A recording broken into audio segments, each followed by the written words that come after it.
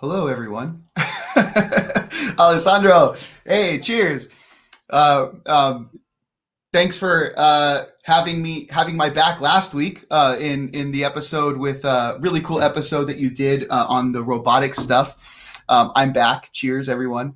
Uh, we have a really cool episode planned for you today. Welcome to Innovation Coffee, ARM Innovation Coffee.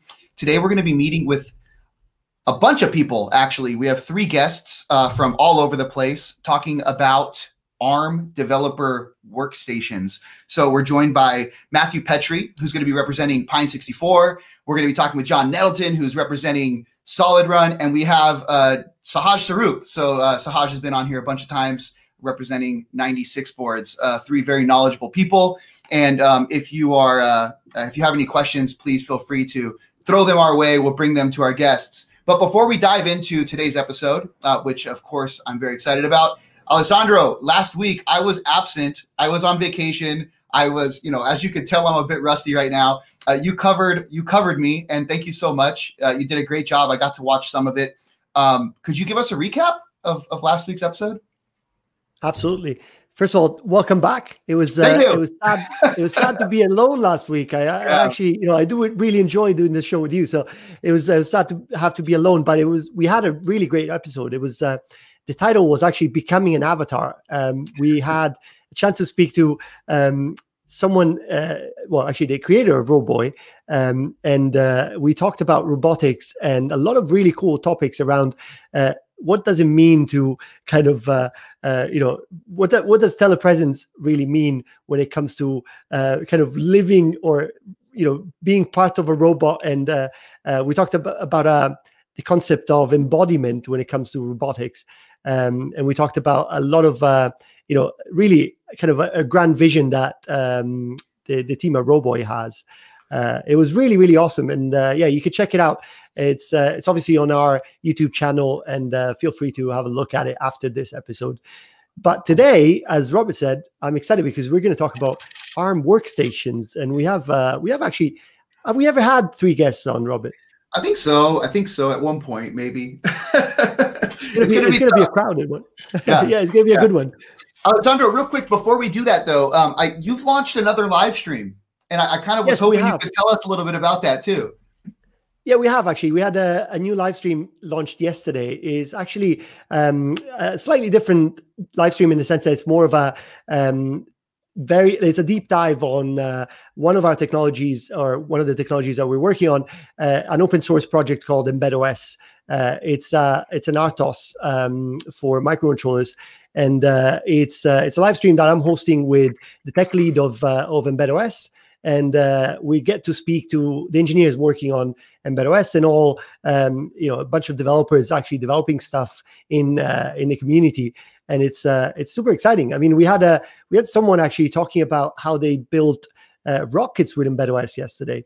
So it was uh, it was super super exciting to have them on the first episode. Yeah, well, give me a chance to speak about that. Yeah, super well received. I was watching it yesterday. I mean, there was a lot of people on there. Great questions coming up. So, I mean, awesome. I look forward to to the next episode already. Um, but yeah, okay. So let's dive into this. You ready, Alessandro? Three guests. We're gonna bring them in one at a time and uh, let you get to know them all uh, a little bit. Uh, of course, we like calling this kind of like the origin story, building out their credibility a bit. We have our first guest here, who is Matthew Petry. He is the community systems admin developer for Pine 64 and emphasis there on the community. He's doing a great job. Pine 64 community is amazing. Matthew, welcome. Hello, happy to be here. Awesome, so. awesome. So yeah, so like what we usually do here, we'd love to just kind of hear your origin story, what you do. Um, if you want to share some fun anecdotes about yourself, um, of course, let the audience know kind of uh, you know what you like doing in the space. Okay, so Personally, I'm a computer engineering student down at the University of Alabama in the US, if you're not aware, and uh, doing some really fun stuff there because, like, computer embedded stuff is kind of just one of my passions in general. Also, doing some fun stuff with a design team for making uh, Martian excavation rovers. But uh, more in line with like Pine 64, which for people who aren't aware, it's like a really community and open source focused group, like a community and a business working together to make open source uh, mostly Linux powered devices based on ARM and a few other platforms. And in terms of that, like it was kind of a untraditional way of getting into this. Like I am not even really an employee. Like there are very actually there are zero employees for Pine 64. Like it's very largely community focused. In my case, it's pretty much just I started like anyone else in the community. I happened to find the uh, Pine 64 Kickstarter for the original Pine A64 board here because I was like 15 $25 SBC. That sounds great.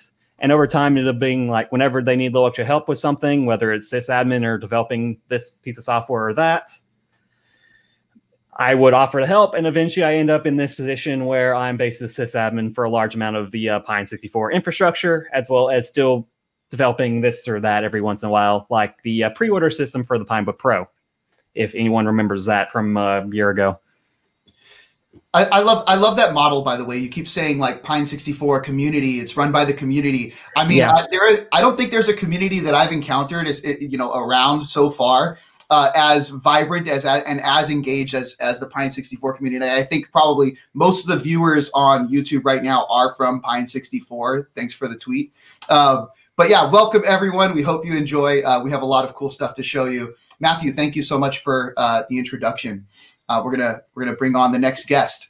So Jon Nettleton from SolidRun, who is chief systems architect for SolidRun. Cheers, Jon. Cheers. Got Thanks for having me on again. Yeah, no, of course, of course. Um, so you know, please, quick introduction if you don't mind. Yeah. So I, uh, um, as Robert said, I'm the chief systems architect for SolidRun. Um, I've done a couple of videos with ARM now. Uh, most people will know me as kind of the community face for our Honeycomb board, which has been a, a developer workstation that we launched earlier. Um, but of course, you know, we work in lots of different areas besides just workstations. We do networking gear, um, which the Honeycomb ties into as well, um, and then embedded IoT, small edge, neural network accelerators, all sorts of fun stuff. Awesome, yeah, and we've done some cool videos. I think uh, you and I we did yeah. a uh, uh, some videos breaking down that device you have behind you, which I believe yep. you're joining us from right now. It is your Honeycomb workstation. That is correct. This is all coming from my ARM64 workstation. Yeah, we'll get to we'll get a chance to talk about that a little bit more in a minute. But yeah, thank you, Jon, for the introduction. You bringing in our next guest, Alessandro? Sure. I was just going to say first before before we do that, you gave away the, the Jon's demo. Uh, we talked about it before. That's fine. We can talk okay. more about it. We can talk more about it. Uh, I'm excited. I'm excited. I want to. I want to hear all about it. Let's bring on the last guest before before yeah before talk, diving into the tech. All right. So Sahaj Sarup, applications engineer extraordinaire uh, from 96 boards at Linaro. Uh, Sahaj, welcome. Hey, thank you, thank you. Um, good to be here. You know what to do. You know. all right. So. um, I'm the application engineer at 96 Boards. Uh, we make a bunch of SBCs based on a fixed form factor design so that you can plug on add-on cards, uh, which are common to all of our SOC agnostic designs, uh, SOC agnostic boards. Um, and when I'm not working on documentation, I'm usually working on making cool demos for conferences and to show off uh, on on these days more virtual conferences. And I started as a reviewer of ARM SBCs and some ARM code uh, on YouTube for a long time, and that's how I got in touch with the 96 Boards community and just joined them. So yeah, so still review, um, and you know I, I remember yeah, Sahaj. Yeah. Sahaj when he was uh, just a, a wee pup. Um, he was participating in the 96 boards forums and he was outpacing all of our support team. So we were looking at all the, the metrics like, ah, who's this Sahaj guy who's, you know, basically third place, fifth place in, in, in how many threads he's responding to or creating. Next thing you know, he's first place by like leaps and bounds. And we're like, we got to hire this guy. So um, that was, uh, that was, those were some good times. All right. Yep. Well, welcome everyone to the show. Welcome. So, so, ARM workstations. This is the first topic, and this is how we're going to do it so everyone knows. Of course, we will take anyone's questions in the threads or in the chat in the YouTube chat. Uh, so make sure if you do have questions for any of our guests here, post them there. We'll bring them to them as soon as possible. But we have a few topics, so big, big, big picture topics that we want to talk about. We're going to let everyone have a chance to talk about it, and then we're going to roll into some personal questions that address their specific fields of interest. So we have Pine 64, SolidRun, and 96 boards. So starting off, ARM workstation. What is an ARM workstation? How does it differ from a single board computer, SBC, or other ARM devices? Over to you, Matthew. First, what's an ARM workstation? Okay, so I think like starting out like a more general standpoint, a workstation would be a device where you can get any work you need to get done throughout the day done without any major compromises. Well, if like an SBC, a lot of people more think of them like for like experimentation or makerspace sort of stuff. While with a workstation, it's something that's actually meant to be used as a daily driver, more or less. And I think that's kind of the position that ARM platforms have started to very recently finally get into and find kind of their coming of age and being able to be your daily driver system. Sounds about right. Anything yeah, to add? To agree with that. yeah. So, anything to add? Uh, not really. I mean, it's funny. Normally, you would think of a workstation more of what we have with Honeycomb, where um, it's about adding uh, expandable storage like NVMe and SODIMMs and and PCIe cards, and uh, you know something that we really traditionally think of in the x86 world. But it, it's actually quite amusing that more and more x86 is going towards all everything's built directly onto the board, and we're slowly building up and making more expandable and robust systems that can be upgraded. So, so that's all. so I'm think I'm trying to think about like benefits here. So right, uh, you know, what what what benefits would a developer have by choosing an ARM-based workstation over you know these traditional x86 workstations that everyone's so used to, right? Like I I now have these options. I can go to the store, I can buy this Pinebook Pro, I can go buy the Honeycomb, I can go get a C630 Lenovo. These are all ARM-based, right? But why would I choose that? Why wouldn't I just go with my traditional uh, laptops that I've been using for for years? I think for ARM only development, um, what's necessary is to be able to compile on the same machine you test on. Because if you're running it on uh, compiling it on x86, you either have a test machine set up, so you need to deal with their two machines there, and if you're emulating, then that's just slow. So you need a machine that ha- runs the architecture you're targeting that has enough memory and enough storage to hold your source codes, your repositories, and also compile them. Um, so I, it's just when you need to target ARM at such a massive scale, it's just easier to have a workstation-like machine where you have enough freedom to do stuff and multiple stuff at once. Just a native development platform is sort of what I think of ARM workstation as. I mean, so like the world does kind of run on uh, on ARM. It feels like, right? You have all these end devices. Everything is ARM at the end. You know, even talking about Mbed, right? Like all these devices, these small sensors to microcontrollers, uh, single board computers. You're building on ARM for ARM. That that's pretty yeah. much a win-win, right? Yeah. What? Yeah, and I and the way I see it is especially with uh, for the developer community who we're really targeting is it's one thing to write software, deploy it on a device, and test for how you expect it to work. But that's not what really grows software and the whole um, platform you're going to build it on. You're going to by running it as your daily driver, you're going to find little bugs. You're going to find little performance things that and mm-hmm. hitches that you normally wouldn't see if you're just you know testing it for this one application. And that's really what we see as a needed stepping stone to move from.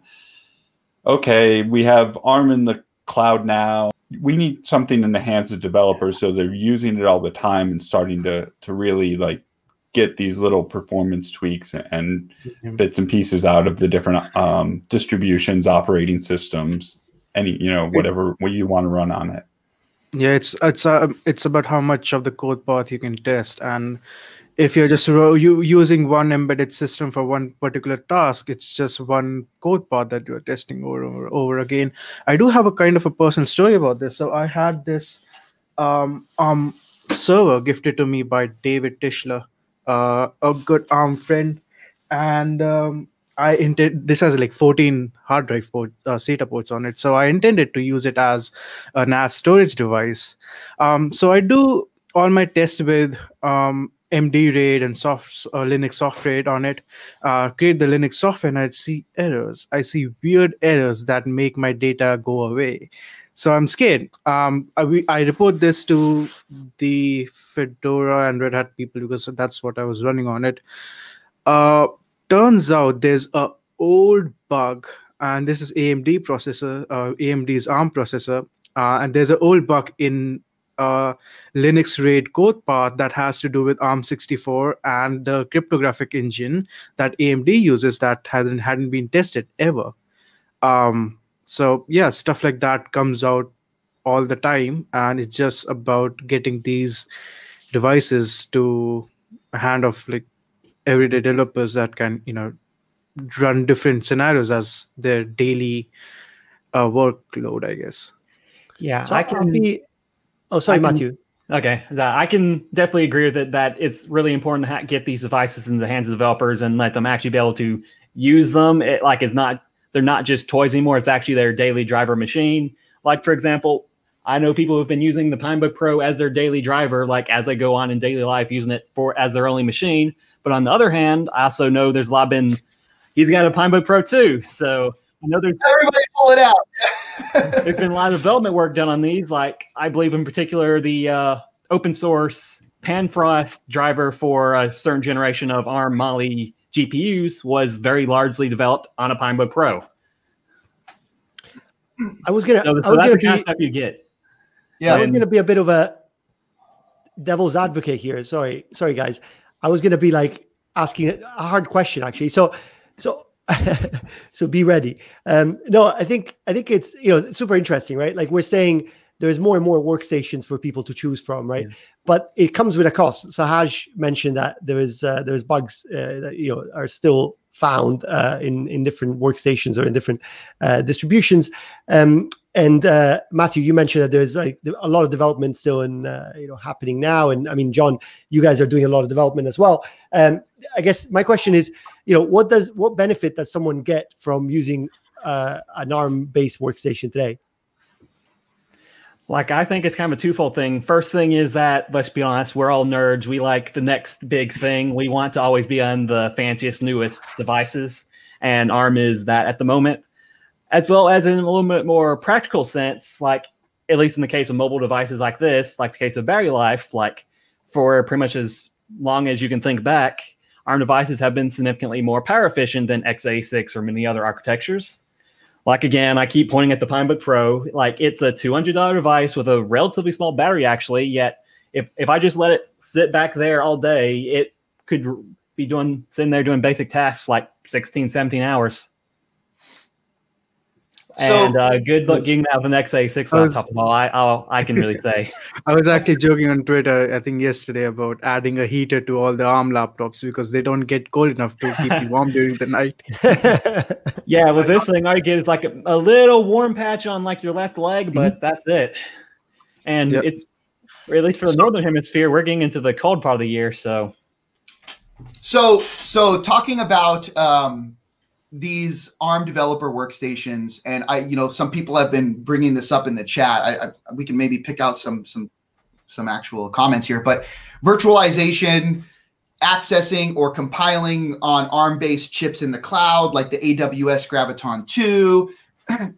you know, I, we may have touched on this a bit, but let's kind of like isolate some of the the key points here why is it important to get these workstations into the hands of developers? And i get like enablement hardware enablement stuff like that. Let's let's isolate some of these. Why is it important to get these developer workstations into the hands of developers versus just virtualizing or accessing chips in the cloud?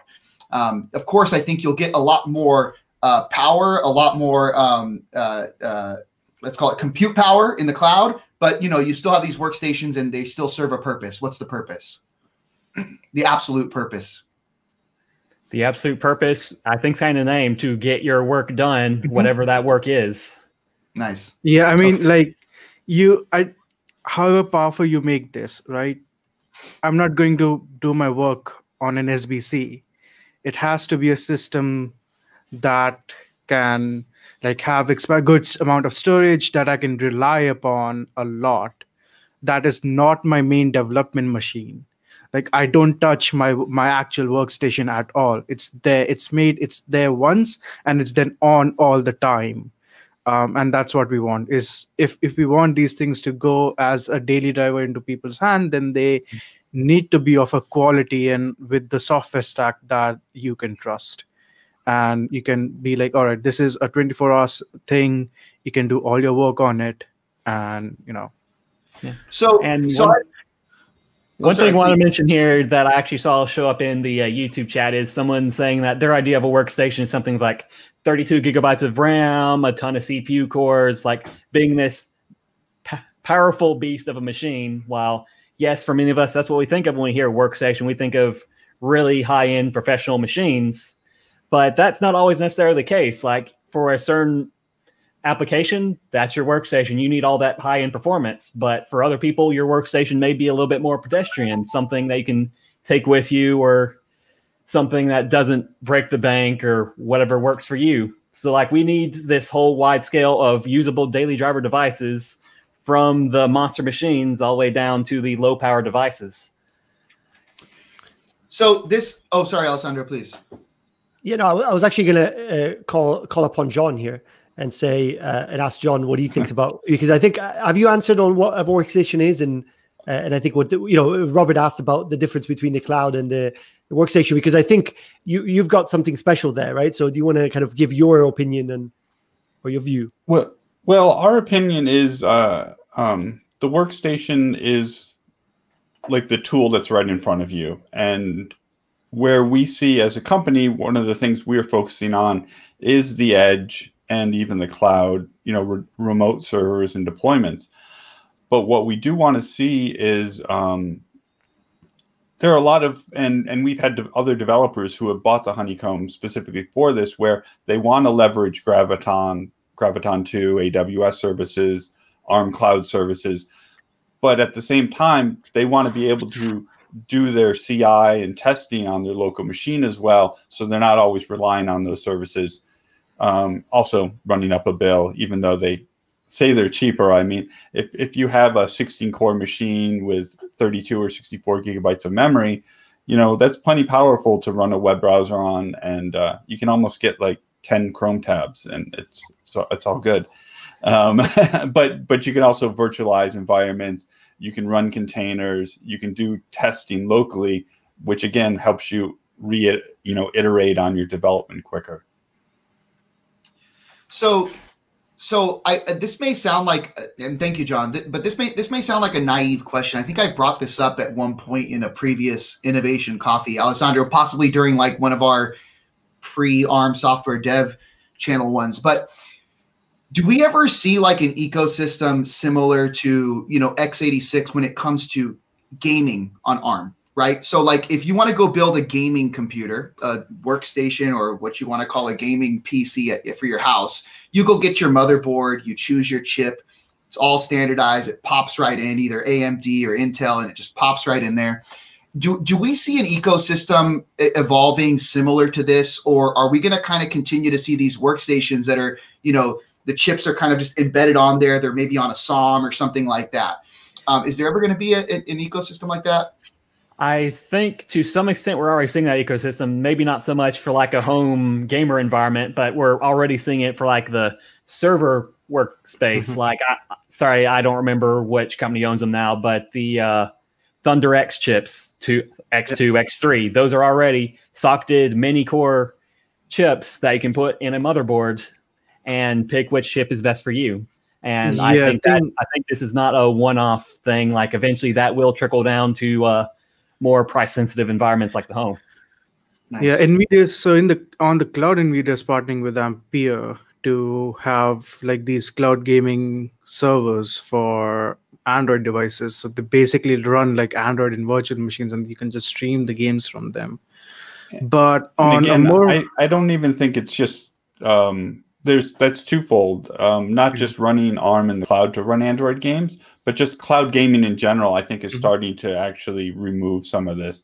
You know, if you have a local ARM workstation and you want to play games, you know, I can log into my NVIDIA, um, what is it, NVIDIA GeForce Cloud or whatever it's called, and, and stream, you know, whatever the latest game is also. And like for home gaming, we already have the Switch that runs ARM uh, I think the next gen consoles may go to ARM because they are getting really, really, really warm to the touch. They are not cool devices, and that will limit them.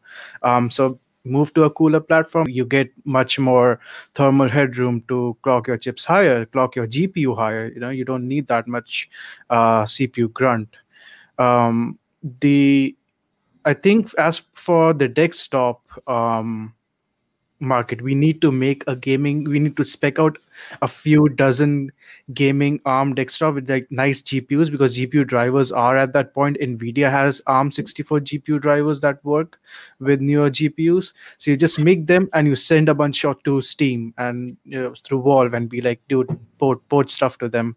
Make make proton work on them as you do on x86 and you know just about getting those again getting the arm workstations on game devs hands I I was gonna I was gonna jump in and and and say you know we've covered we, we talked about workstation, but we've actually covered a, quite a big range, I believe. Right, we went all the way from uh, kind of you know laptops to um, more or less basically cloud clouds in clouds in your in your desktop uh, environment, right? Or in, you know in, in a kind of um, not cloud, but I mean you know like a big workstation kind of running mm-hmm. the same workloads as uh, as cloud workloads.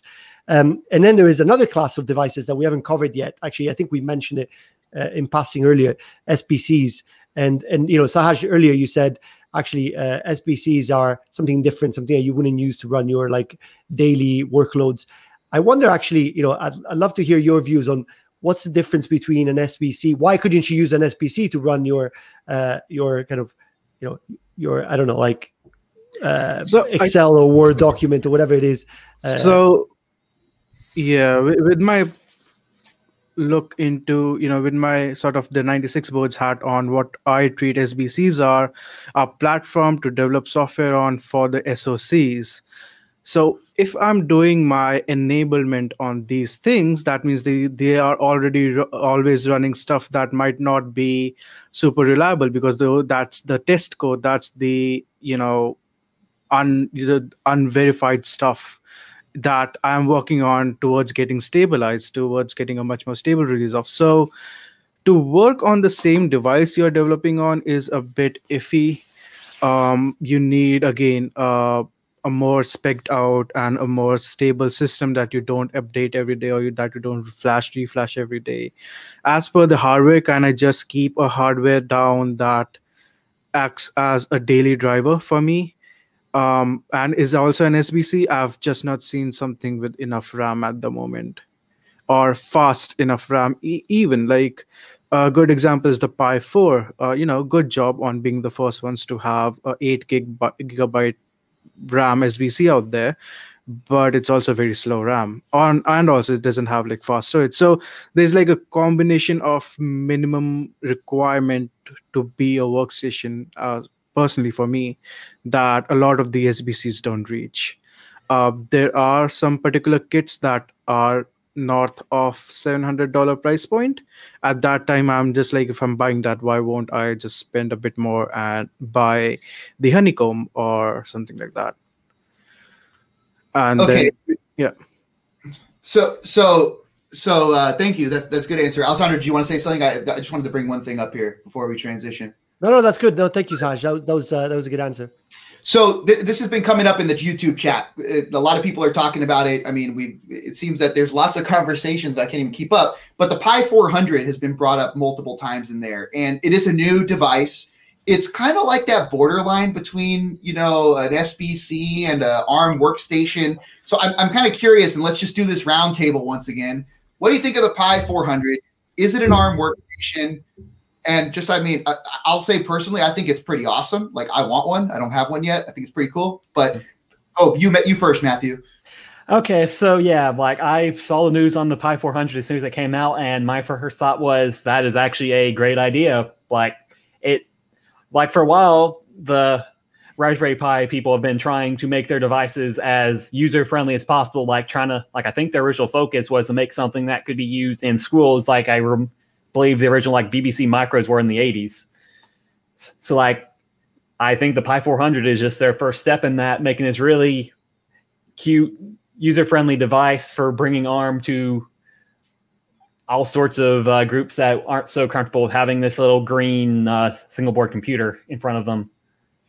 So, so on that note, while you were talking there, Matthew, and I, I love your comments, Martian says that Pi 400 is a toy, and I think that this was this was kind of, and as we transition into Jon's area here, this is kind of, uh, I think, something that came up while you were talking on Twitter uh, last week, trying to find these cool features. So maybe you could tell us what do you think about the Pi 400 and um, why why would people think that this is kind of a toy versus something that's more industry or you know let's call it more robust, ready for developers like the Honeycomb?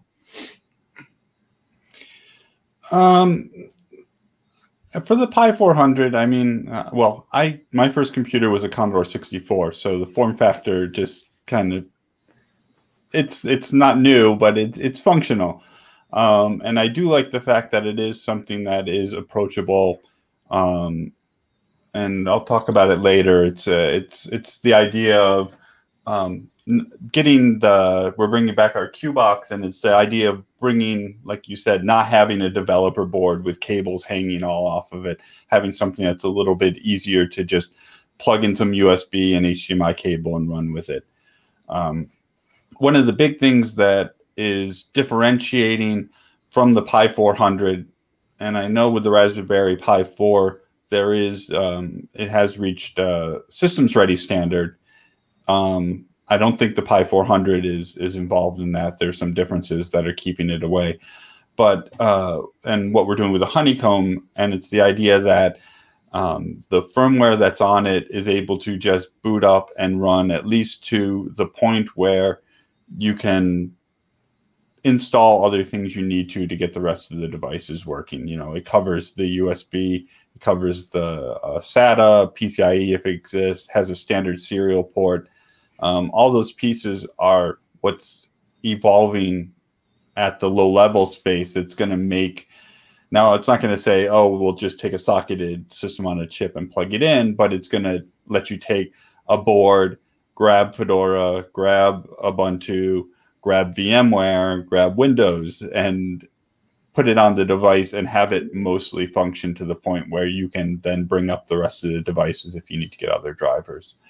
And I and I think that's really the what's going to be driving. And I'm not saying like this is U-boot has to go away. There, there's the embedded spec for that as well, which is going to add some of the features from UEFI to keep to do UEFI booting. It's just still going to boot from a device tree, um, and having that unified boot that all the distributions can share is going to be what's very important for kind of bridging that gap between an SBC, an embedded SBC, and what's something that's going to be a, a desktop or a workstation, you know, something in that category. Yeah, I kind of wonder how the U-boot ACPI stuff's coming along these days. I've not had a lot of chance to look at it. Well, it's making progress, so I'm already looking at it. So it's it's doing a good job. Nice. All right, cool. Sahaj, did you want to talk about the Pi 400 real quick, or do we move on to the next? I, I just it's a, it's a nice educational kit. That's all. Yeah. Nice. Yeah, I, I think so as well. I mean, uh, I'm I'm excited to to get one. I think it's just pretty cool, but we'll see. Um, so moving on to this next part here. Um, uh, these are just some questions I think custom tailored towards each of you. Uh, we're going to start with Jon, and I, you know, I, we, we talked about this Twitter post that you posted. Uh, I want to I want to just dive a little deeper into this. Um, I'm going to read the Twitter post if that's okay, and I'm going to post it. Yeah, right certainly. So let's see, banner. I, I put it here. what would, and I, I did cut a little bit because it only allows 200 characters on this thing. But what would be your reasonable dream specs for a device a quarter the size of a NUC, around $100, and not something you will throw in a drawer after two weeks like a Pi. Now, maybe I should have cut off that last part. um, everyone's got a Pi in their drawer, right? I mean, I, yeah. I think we can, we can, all agree with that. We all um, have too many SBCs. We all have too many SBCs. But so well, and, and at that price point, it's very. The point is at that exactly. price point, I said around a hundred dollars. It's people will buy them and then play around with them, and then they'll go go to the way to the next one. But you got a lot of feedback on that on that post. Yes, a lot more than I expected. I think even Sahaj shared some feedback there. Could could and Marchin, who's in the call right now, who's in the, the YouTube channel.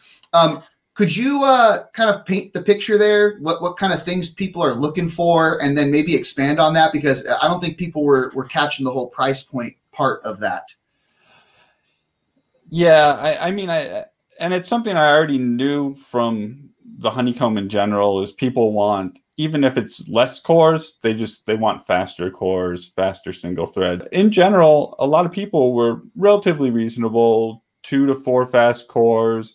Um, memory is always a big one, uh, and I and I don't disagree with that. Uh, now, given as we move forward, that might change a little bit, right? Because if you're building your dream system on a chip, you can always do um, hardware compressed memory. So eight gigabytes will get you a lot further things like that. Um, but uh, uh, most of it is standards booting, like I already said, UEFI boot so they can put whatever they want on it. Um, GPUs are an inter- interesting one because people obviously want open source drivers or, or those sorts of things. But um, uh, and we'll have to see where things go with NVIDIA and AMD moving forward. I mean, Mali's doing a good job, but you know, people want like gaming GPUs, you know, something bigger. Um, and then run silently is always important. That's something that people um, come up with. And I think in general, and some people went through the roof. Like I said, it kind of turned into a big Christmas wish list as well. I guess we're close to the holiday season, so some of the things got a little off the rails. But in general, I just like to see what people are looking for and, and what they think in the hundred to two hundred dollar price point.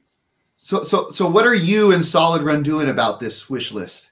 Um, is there is there a future honeycomb iteration that that's coming out? Is there something that we might be looking forward to? I am I'm, it's just general curiosity. No, in general, it was just general curiosity. I, I'm just seeing what people want. Um, obviously, we're an OEM ODM. We we make the boards, we make the SOMs we can only build the machine with there we can only build the machines that one of the silicon vendors makes the system on the chip that kind of fits into where we want to where we want to be. So it's not like we can just magically make this out of thin air. It would be great if we could. Um, but there's there's going to be progress but i always like to kind of get a feel for what do developers want because that's um, kind of the divining rod towards where we should be looking as the market comes down the pipe and if things are available to us well it's just the next big thing. I mean that's kind of where honeycomb was born from was that same divining rod of developers saying oh i want something that's under a thousand dollars. And i know people they always want it cheaper but uh, gen- generally under a thousand dollars uefi um, pcie all, all those pieces can just run a normal gpu work in a normal case and that's like I said, it's kind of the divining rod to give us an idea of what we should be targeting next and where we should be going. Jon, I'm curious. Uh, you know, you mentioned that you're trying um, as a company to like kind of reach developers and do you know build things that they're you that are useful for them. How do you actually? Uh, what is your uh, you know kind of trick to understand what developers want? Because I think that's a big challenge, right? So how do you go about like understanding uh, kind of what is the next big thing that you could build? I'm curious. Well, a lot of it's community based. It's uh, we started way back in IRC, and now we've with the honeycomb we've actually migrated to the developer ecosystem. Um, uh, when we first started with the original CuBox, we were heavily. Um, I actually came from the developer community, like Matthew said he did with the Pine 64, and Sahaj said as well with uh, the 96 boards um, where I was a community member um, working with the company. Uh, but in general, we try to feed developer boards as much as possible out to um, people in the community and work with those communities. You know, we want Fedora running on our stuff. We want people from ARM to have our stuff. We want people from Ubuntu or SUSE or you know Debian um, or B- the BSDs. We have a lot of BSDs developers who are really excited about uh, the Honeycomb, and uh, it's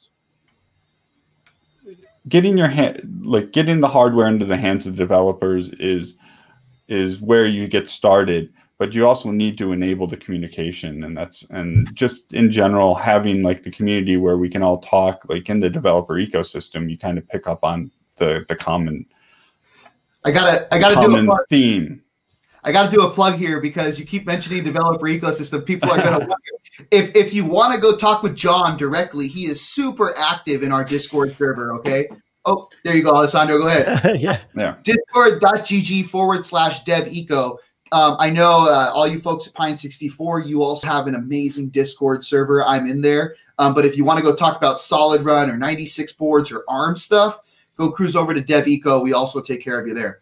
Um, so Jon's very active in the SolidRun channel on DevEco. All right, that's my plug. Thanks, Jon. yeah. And yeah. if if and I may just, I am still on IRC too, but that the, that traffic's going slower and slower, less and less and I wanted I wanted to just kind of like uh, build on your point. I think it's it's super cool, like what you what you're doing, and I think oh, you know everybody on the call actually is kind of working on you know kind of under the same um, type of uh, doing a similar type of job, and and I, everybody's doing a really good job actually. Um, and it's really cool because I feel like you know we're a diverse community of developers all over the world, right? And uh, uh, you know, with this year, with this year with COVID, like we're not actually traveling anywhere. We're all kind of sitting at home doing doing stuff. But actually, it feels it feels like we're, you know, so like, I don't know. It, it, it, I think I've been on on uh, on uh, DevEco and I've been on other channels like that uh, way more than I probably have in the in the past because of because of me traveling less. And it's super cool to see, you know, all these communities like come together and like build stuff together, as you were saying, right, Jon? Like you talk to uh, all these other uh, people out there and you kind of get them to build stuff on top of, uh, of, of, of what you're building and it's it's super cool to see that ecosystem really kind of grow and and grow together right I, i'm really passionate about that personally things are still happening absolutely okay let's move on to pine 64 jon thank you very much um yeah. appreciate appreciate talking about that so so pine 64 we have some good questions here um, i think that you know when you're talking about this community model uh, at the beginning when you were introducing yourself. I think we talked a little bit in the green room before the, the live stream started. Let's let's just kind of go down the list here, right? So, Pine 64 is a very community oriented uh, mm-hmm. company. Uh, let's talk a little bit about that. Um, how is this community managed? You know, um, splitting the hardware aspect to the software aspect, mm-hmm. and uh, we'll start with that. So, so Matthew, walk, walk us through this Pine 64 community. Okay, so I may have mentioned this earlier, or it might have been in the green room, as you put it, but the uh, Pine 64 community is very much within two sections. There's the business side of it and the community side of it, and they work very well together, but in one significant way, they differ. The uh, business side of things handles the hardware, the community side handles the software, which we found kind of important because a communities are how devices grow, and B one of our focuses is to make free open source platforms. And whenever you separate the software from the uh, hardware aspects, you kind of remove the possibility of even letting the like proprietary existing blobs into your hardware. So.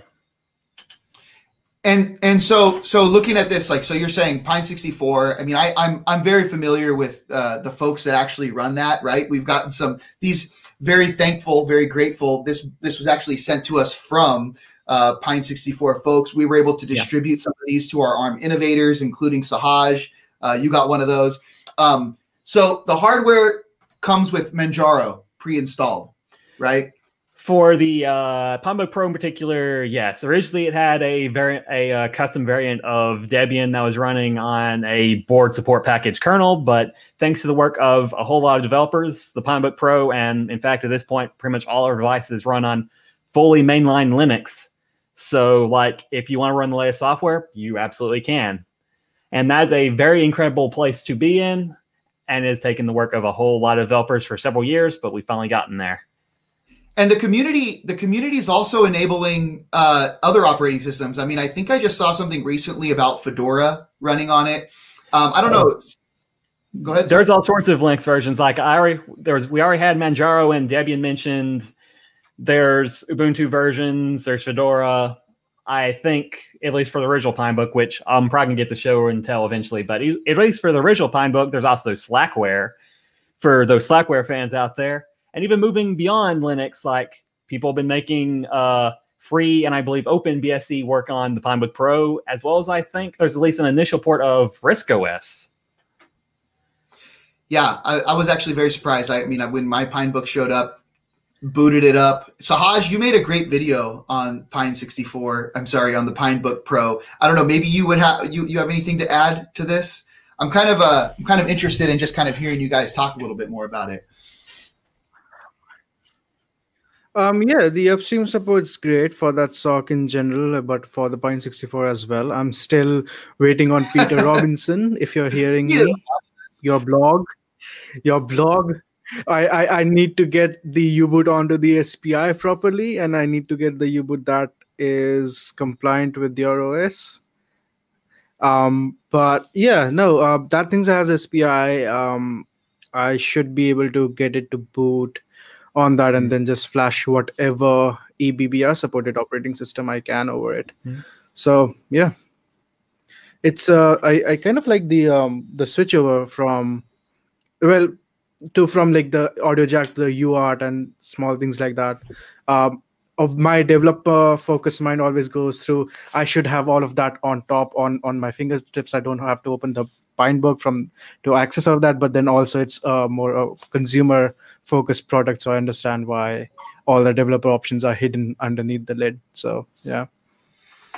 So you guys also you chose or i mean i shouldn't say you chose but the, the on the pine Book Pro. You have the RK3399 chipset. I mean, I think that's an easy chipset to work with, right? It's all uh, we, we, we talked about this in the green room. I'm going to bring it up, and I know you're not going to be able to go too deep into this, but Pinebook Pro or Pro Plus iterations of Pinebook, what, what are we looking at? I, I, I was told that the audience was going to bring this question, but I decided to do it myself. What, what are we looking at future Pinebook? Like, like you said, I can't go too much into future plans, but of course, we do very much have future plans for chips. In fact, I believe recently we finally announced our plan to build a new gen- generation of hardware on the uh, RK uh, 3566 system on a chip. So, next generation, kind of a replacement for the uh, 3328. Actually, I think it's even higher up the stack than 3328 that we've used on the uh, ROCK64 SBC. So that's going to be for more of our like non-pro sort of devices for a massive upgrade from the previous Allwinner A64, which has been powering a large amount of our devices for a while now. It's like this thing, like I believe Sahaj was talking about earlier, like moving on from stuff like the uh, Cortex A53, like I believe the uh, 3366 or 3566. I still need to get the number straight. Has uh, quad A55 cores, a much faster Mali GPU and basically vastly upgrade hardware that should make our devices in the future quite a bit nicer. Because we have seen some complaints about the uh, A64 being a, maybe a little bit behind, but that's not like raw performance isn't really the focus of our hardware. Our focus is to make open devices that like one of the main focuses is like I mentioned, being able to run mainline Linux and other software, but also being able to ha- have it just in general be fully open platforms that anyone can use can develop for. So performance is not the main objective there. Accessibility is. I wanted to bring something up actually that that uh, that came up earlier. So I'm going to put Sahaj on the spot here. I hope you're ready, Sahaj. I I heard before, like we, we talked about, um, you know, this running Mali, um, and uh, you know, earlier we talked about gaming, and I think that's a big driver for workstations in general, right? Um, and Sahaj, you've got a surprise for us, right? You've got. Did you get yes. Doom running on? I have Doom 3 running on the open source drivers. Show it to us. We want to see it. Otherwise, we don't believe it. Pixar, it didn't um, happen. Um, I I I don't know if my overhead camera would work or if it will show everything upside down. Oh, it it's is showing everything down. Right, I can just bring it forward. That's fine. Uh, bring the brightness up, and so I just used AUR to install it. I didn't have to do a whole lot, and it's like non-modded. Was there a mod for, or was there a bit of stuff required, but for the most part, oops, let me just also change my camera. While you do that, Sahaj, I was going to say like things like this. I'm curious, like for example, who who built the support for, uh, who ported Doom?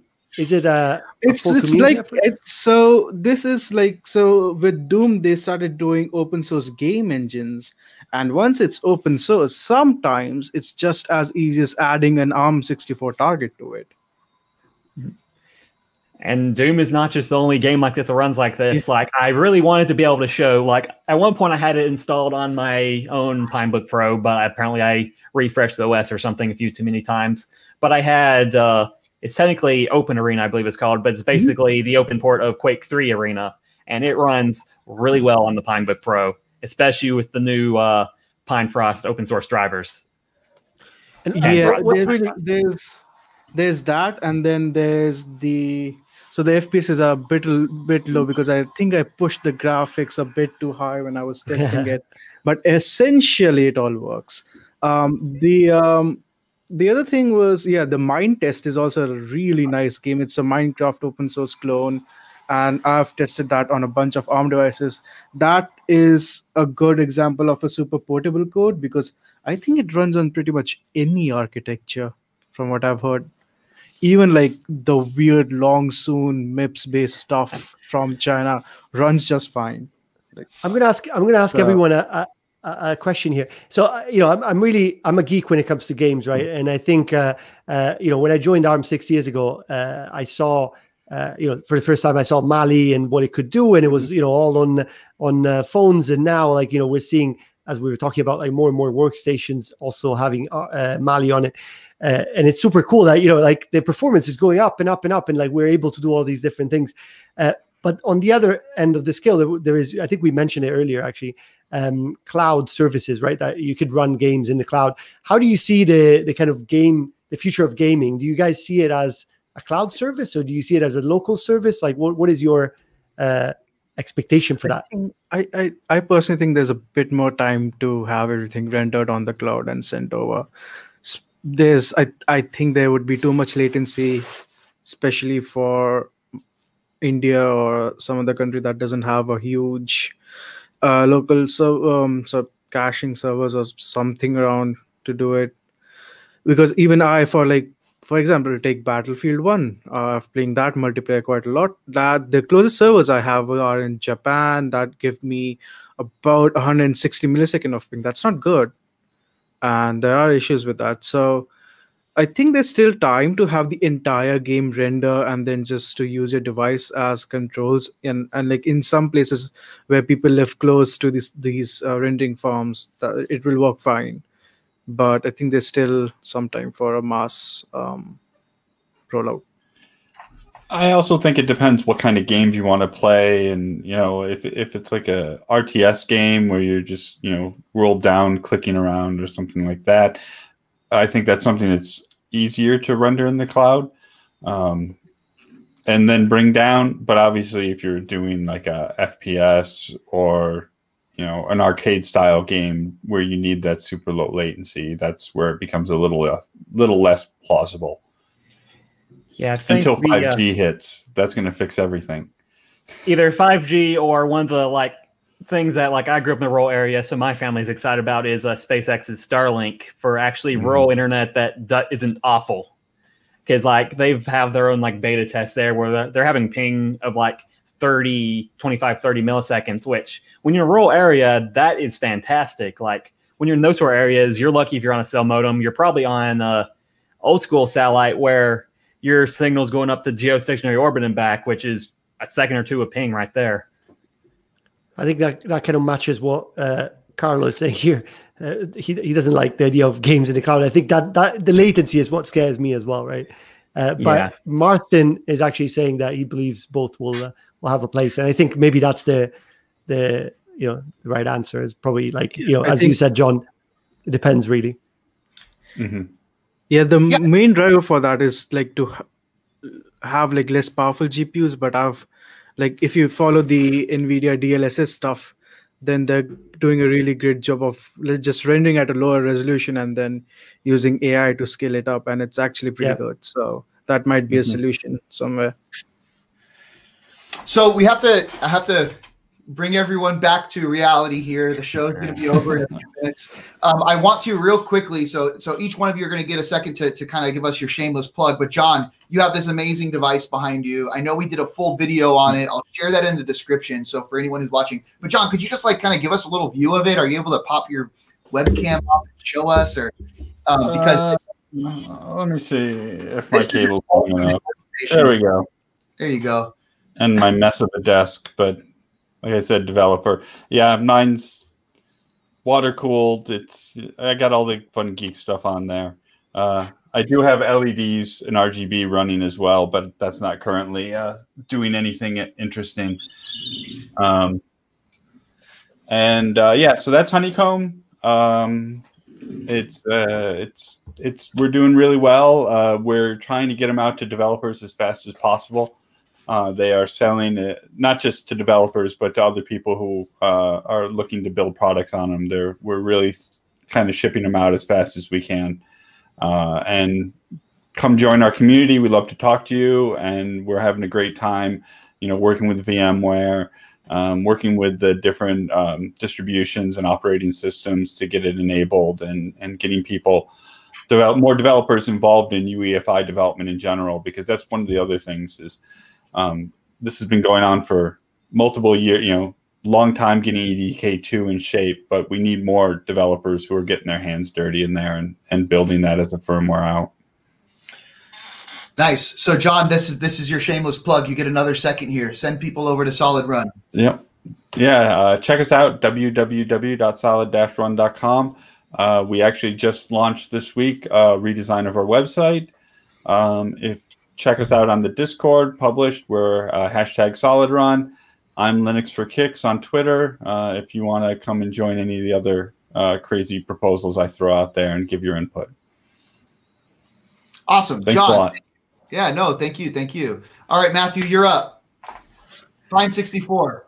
Okay, so Pine 64, like I hope to be able to do show and tell of all these amazing devices we hear, like like we have right there, pine64.org. If you want to find more about our community, if you want to find, buy some of the devices, it's pine64.com now. And like one thing that I know I'm kind of surprised we had not many questions about is the Pine phone, which is kind of like the other crazy thing other than this that people are excited for. Like one of the first new Linux, fully Linux, mainline Linux uh, smartphones. It's actually in quite a usable state now. I actually have two of them. Like this is the nicer one right here it's like those are going to be more available soon, and we have all sorts of other things like the uh, Pine Watch. So yeah, if you want to come see our uh, whatever hardware we have, pine64.org, pine64.com, or come join our community. Like I don't, I don't even have to talk about how amazing our community is. The rest of these guys have been doing it for me. So come check us out. And, uh, and and we're gonna have a nice negotiation session with you after this live stream ends to get you back on another call so that we can spend the entire hour just talking about Pine 64 stuff. And so you will get an opportunity, I hope, to, to show all of that cool hardware you have behind you in a, in a future yeah. episode. yeah, because we also want to hear about the Pine yeah. Watch next time. Yeah. We'll bring back. I'll, I'll talk until you run out of time again. Awesome. Last but not least, Sahaj, you're up. Right. So three things to announce. Um, connect.linaro.org. Uh, go there, and uh, we are having our uh, third virtual connect uh, this March. Sadly, we couldn't be uh, physically together. I'm very sad about that. But hey, we'll be there, and we'll talk about good ARM open source stuff. So if you're into ARM and open source, uh, you can come visit us and. Um, take part. So connect.linaro.org, uh, call for papers are open. Um, uh, next up, 96 dot, uh, 96boards.org. If you are interested in SoC agnostic um, SBCs, we got Qualcomm, we've got ST, we've got HiSilicon. I've got all of these on my desk. That's why I'm taking those particular names. Um, you know, 96boards.org. Come check us out.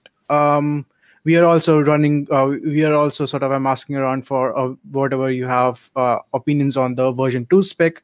So you can go to our website check out the version 1 if you see there's something missing that you'd like to be added then you can ping us on um, DevEco discord. I'll be there. And um, last but not the least, uh, sahajsarup.com. That's if you want ARM or in general tech blogs, you can catch me there. There's just one blog there, but that's the new website. That's why. So, yeah, yeah, visit there. Um, yeah, I guess that's it on man. Can I do a plug as well for all for everyone here? Oh, no. Um, so, no, no, no, no. Okay, fine. I'll leave that. um, no, I would. Just, I just want to. So we we we have in mind to do a, a blog uh, showcasing some of the cool projects that from the community, right? So we've put out this um, this form. Um, it's uh, it's it allows you to kind of list out what you've been building, and uh, I'm keen to kind of showcase as much cool stuff from the community as possible. So if you've got anything that you're building um, you know, for Christmas specifically, or for, uh, you know, I, I, think I was talking to some friends recently. They're building some cool stuff for Christmas. So, um, so yeah, if you've got any ideas of cool projects that you want us to showcase, uh, yeah, link it here, uh, and we can we'll reach out to you and we can do something together as well. Uh, maybe we'll invite you on innovation coffee as well. And that is case sensitive, by the way. If you don't use the cases, you end up on woodworking projects gallery. So you put it Yeah. I didn't realize it was case sensitive. Okay, cool. Good to know. So. Cool. All right, so let's close this out. Um, as always, gosh, I mean, it's just been great. Thank you so much, Sahaj, Jon, Matthew, for taking this time out of your day. I know you're all busy. Uh, very much appreciated. Everyone on YouTube, you're amazing. Thank you so much for joining. I hope you liked it, Like the video, follow us on YouTube and uh, join us again next week. Every week we do this at the same time. So um, I'm personally very grateful for everyone who joined us. Thank you so much. Uh, Alessandro, over to you. Thank you, everyone, for joining. Thank you, Robert, for being a great co-host. I'm, i feel less lonely this time with you, so uh, it's always great to have you on, on the show. And uh, guys, thank you, Jon, Sahaj, Matthew. Thank you all for for joining. It was uh, it was great to speak to you. Uh, you know, I, I, appreciate that I put you in the spot a couple of times, but it was uh, really good answers. Loved having you in the show. Yeah, thank you, thank you. Thanks. It was a lot of fun. See you next thank week. You to all the viewers as well. See you next week. Bye bye.